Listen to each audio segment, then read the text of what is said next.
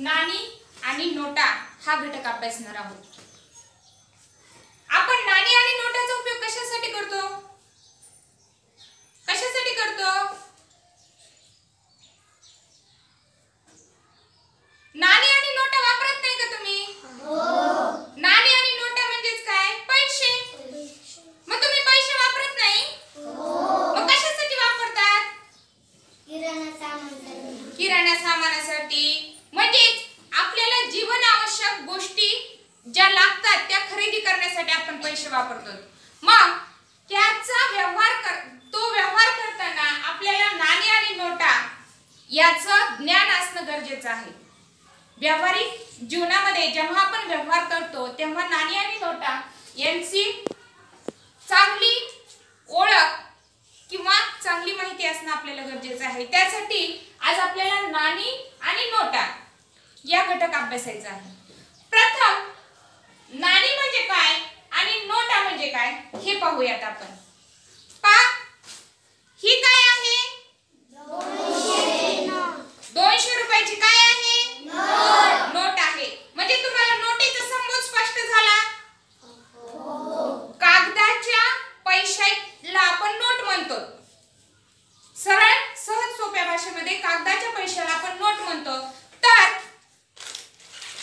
जे काही चिल्लर स्वरूपात असतात त्याला आपण नाणी असं म्हणतो पण आज आपण नाण्यांमध्ये एक रुपयापासूनचे नाणी वापरतो एक रुपयाचं पाच रुपयाचं दहा रुपयाचं हे नाणे आपल्याला पाहण्यात आहेत आपण वापरतो. पूर्वी आपण पंचवीस पैसे पाच पैसे दहा पैसे हे सुद्धा आमच्या लहानपणी होते परंतु आता आपण ते वापरत नाहीये.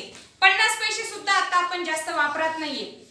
तर याला म्हणायचं नाणी याला म्हणायचं नोट. नोट आणि नाणी कळाला? नोट म्हणजे काय नाणी म्हणजे काय हे समज स्पष्ट झाला आता आपल्याला त्याचा पुढचा घटक पाहायचा आहे आपल्याला आपल्याकडे एखादी नोट आहे आणि त्याचे आपल्याला सुट्टे करायचे काय करायचे? सुट्टे करायचे चिल्लर करायचे. बरोबर आहे की नाही? आता माझ्याकडं पाचशे रुपयाची नोट आहे. किती रुपयाची? पहा ही नोट किती रुपयाची आहे? तर या पाचशे रुपयाचे आपल्याला सुट्टे पैसे करायचे चिल्लर पैसे करायचे. त्याच्यासाठी माझ्याकडे काही दोनशेच्या नोटा आहेत काही शंभरच्या नोटा आहेत मग मला सांगा माझ्याकडे दोनशेची पण नोट आहे शंभरची पण नोट आहे तर मला किती सुट्टे पैसे घ्यावे लागतील दोनशे दोन. हा दोनशेची आपण एक घेऊयात. माझ्याकडे एक नोट आहे दोनशेची. हा पुन्हा शंभरचे किती नोटा घ्याव्या लागतील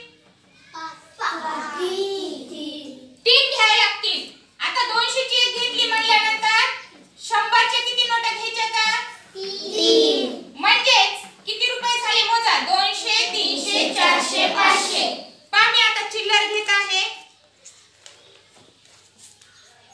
पाय हे किती आहेत पाचशे रुपये आहेत हे पाचशे रुपये आहेत आणि हे मी चिल्लर घेतले पाचशेच आहेत हे पण पाचशे आहेत हे पण पाचशे आहेत परंतु ही एक नोट आहे म्हणजे आपण ह्याला बंदे म्हणतो आणि हे चिल्लर आहेत म्हणजे पाचशेची चिल्लर आहेत पाचशेची चिल्लर पहा मी ही दोनशेची एक घेतली आणि शंभरच्या तीन नोटा घेतल्या झाली की नाही पाचशे याला म्हणायचं चिल्लर याला म्हणायचं बंदे सुट्टी किंवा चिल्लर म्हणजेच ये तर हे झालं पाचशे रुपयाचं आता आपण पाच रुपयाची चिल- नाणं आहे माझ्याकडं किती रुपयाचा? तर त्याच्यासाठी मला चिल्लर पैसे घ्यायचे किती कितीचे घेऊ मी? सांगा. माझ्याकडे काही दोन रुपयाची नाणी आहेत काही एक रुपयाची नाणी आहेत दोनशे दोन दोन रुपयाचे दोन ठोकळे घेतले एक रुपयाचा एक एक रुपयाचा एक ठोकळा घेतला पा हे मी दोन दोनचे दोन ठोकळे आणि एक रुपयाचा गेला हे पाच बंदे आणि हे पाच रुपये सुट्टे चिल्लर. नाण्यामध्ये पण आपण चिल्लर करतो आणि नोटामध्ये पण करतो तर मला आणखीन परत सांगा तुम्ही आता मला शंभर रुपये किती रुपये आहेत शंभर रुपयासाठी पन्नास रुपयाच्या किती नोटा घ्याव्या लागतील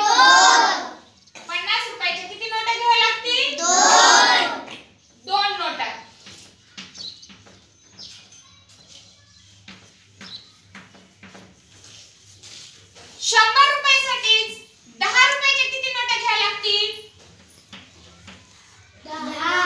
दहा बरोबर आहे एक दोन तीन चार पाच सहा सात आठ नऊ दहा म्हणजे शंभर रुपये होण्यासाठी दहा दहाच्या किती नोटा घ्याव्या लागल्या दहा नोटा घ्याव्या लागल्या